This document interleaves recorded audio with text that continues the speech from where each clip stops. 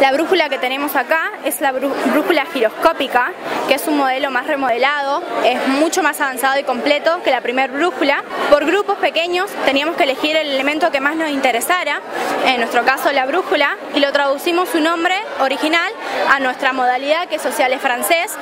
Boussole, como muestra la imagen, se dice boussole.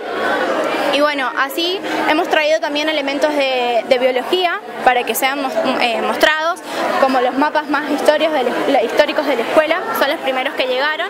Y bueno, así diversos elementos que todos han sido traducidos a francés, a, italiano y a inglés, que son las tres modalidades de la escuela.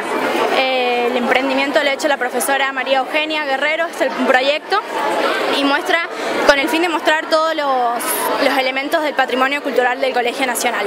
Y nos hemos quedado muy sorprendidos todos, hasta los propios profesores, porque todos los años que trabajan acá eh, no conocían estos elementos, que para todos ha sido una experiencia única, ya que hemos conocido elementos de 1700, eh, algunos muy antiguos que no podíamos tocar, es más, eh, lamentablemente no hemos podido mostrar unos pájaros petrificados que uno los ve y los ve y son reales, y bueno, elementos muy magníficos que, que sorprenden, la verdad, una experiencia muy bonita.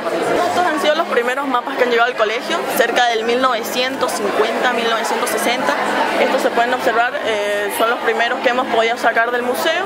Tenemos mapas de cuerina, tanto son los primeros mapas pizarra. Eh, podemos notar la diferencia porque acá tenemos los dos que nos ponen en esferas y después pasan a los que son ya planiferios. Por ejemplo, acá notamos la diferencia que no tiene grados, no tiene latitudes, acá lo tienen más completo. Estos ya han llegado cerca del 1990, 2000. Estos más que nada han sido cerca del 1960. Por ejemplo, solamente notamos la forma. No tenemos grados, no tenemos latitudes, no tenemos nada.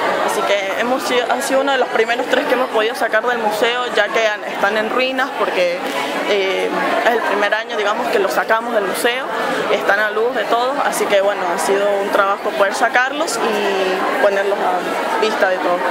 Así que por eso están en esas condiciones, hemos podido lograr limpiarlos y notar bien cuáles son las diferencias de los grados, las latitudes, acá podemos notar que estos son más nuevos que los otros.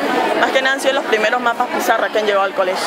¿Cómo viviste la experiencia de este trabajo en conjunto con tus compañeros y los profes? Muy linda, la verdad que ha sido muy lindo descubrir cosas nuevas en el colegio que antes no teníamos idea de que estaban acá ni que hayan llegado.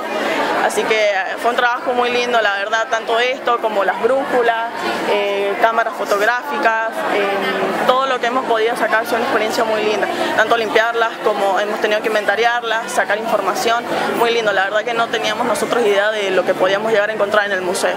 A pesar de que nosotros somos de las especialidades sociales, encontrar objetos de la especialidad de físico-química, cinematografía, ha sido muy lindo, una experiencia nueva, más que nada para los sextos.